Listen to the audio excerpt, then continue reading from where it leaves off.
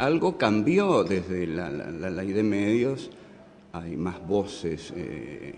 digamos, diferenciadas de las voces del poder eh, mediático, pero este, el, eh, poder sigue en manos, el poder de los medios sigue en manos de los tradicionales medios hegemónicos, como La Nación, Clarín y en última instancia Rupert Murdoch,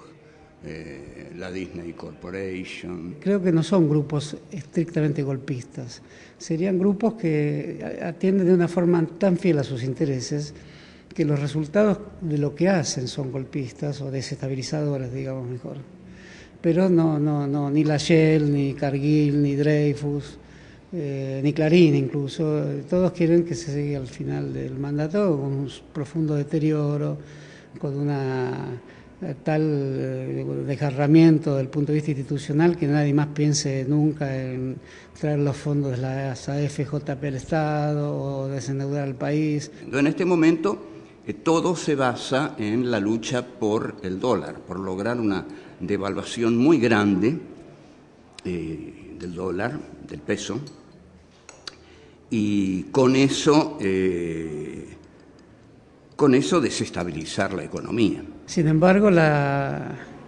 propuesta de controlar los precios se ha extendido más allá de la militancia social y eso supone que la idea del ciudadano que tiene un comportamiento activo en los centros de compra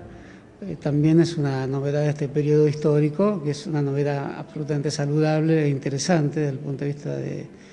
la participación en el control de los precios, pero en un marco sumamente complejo para el gobierno, de una complejidad que hasta el momento no habíamos visto. Hay un público, un público, una militancia y un receptor mucho más activo, mucho más politizado y de hecho responde a los 10 años del gobierno kirchnerista.